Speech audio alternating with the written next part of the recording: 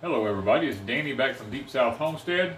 The day has finally arrived. We have waited and waited and waited, and finally the Razzmatazz has showed up. It, uh, it's been ordered for quite a while now, and I'm guessing probably the weather may have played a part in it. But in the Deep South, planting time for us will be over with here in the next few weeks, and I was getting a little concerned. But the Razzmatazz is a new uh, it's a new seedless muscadine. They call it a grape. They call it the Razzmatazz grape. It's actually a seedless muscadine that uh, has been patented and grown. It's not GMO. It's uh, it's it's this this man he he created this thing. It's a muscadine that does not have any seeds in it, and I just love muscadines. And I'm like, you know what? You can eat the skin, just the whole thing, just like you eat a seedless grape. To me, if I could have a muscadine that done that, it would be like heaven to me. So Gurney's has put these out, and um, we we ordered one. Now they were really expensive, so don't you know you can't order a bunch of them. So they were, so we only ordered one because uh, I'm not sure about it. Now if I find out that it is everything that they say that it is, I will uh, maybe order me another one in the future. But right now, we're going to try this one razzmatazz here. Now, I don't know if it's green or purple or bronze or whatever. I don't know that. Uh, but we're going to we're going to give it a shot and see how it does. Um, and along with that, Ms. Wanda ordered some Ever Sweet strawberries from Gurney's. Uh, we like strawberries. Uh, we about lost our old variety. We still got a few of them left, but we decided to go back and make us a strawberry bed again just because we love strawberries. And we've got the freeze dryer now, so we thought about what better way to keep them than freeze drying them. Okay, guys, we open this baby up, and there it is. Pretty little razzmatazz. Um, kind of look here and figure out where the tape is. I don't want to cut my vine. Let me set this thing down before I... They got tape just wrapped all around it. And I guess rightfully so, or they shrink wrapped it. They might have shrink wrapped this thing. I think it's shrink wrapped. Okay, here it is. We see some little buds coming out on it. So, um, I'm going to uh, take it to the place that we have picked out to put it, and I'm going to see about sticking this baby in the ground. Alright, I want that thing where I can put the lawnmower in there, so we're going to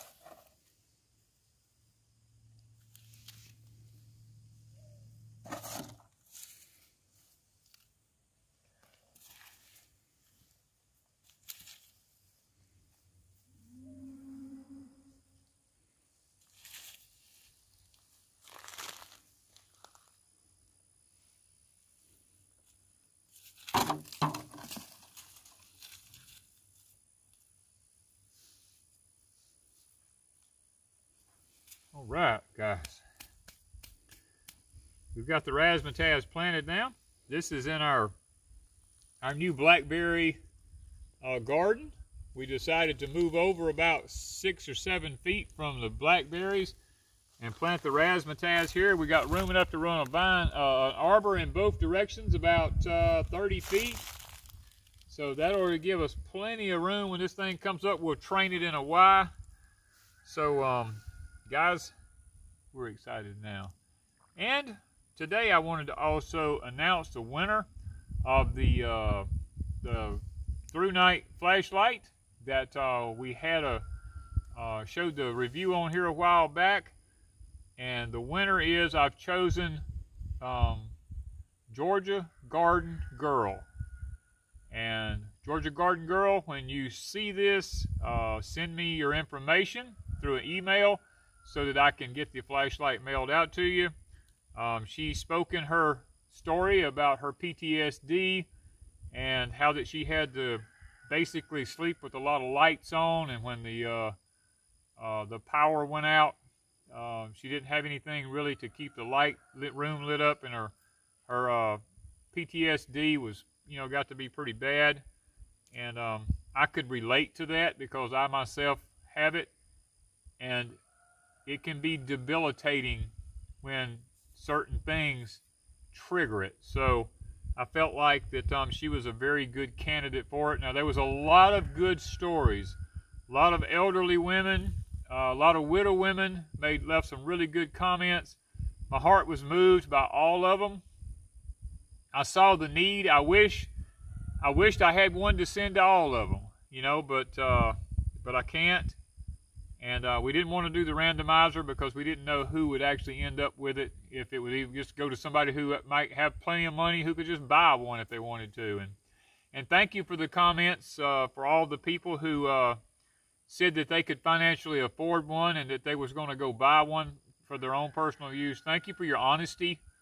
And um, thank you for those who said, look, if you choose my name, give it to someone else. I prefer an elderly person or someone who really needs it. Thank you for those comments. Thank you for those who sent me emails. I actually got emails about it. So, so thank you for that. And um, I just, it just breaks my heart that I don't have a bunch of them to give away. But uh, it is what it is, and we've done what we felt like was best. So, guys, um, thank you for participating. It uh, it means a lot.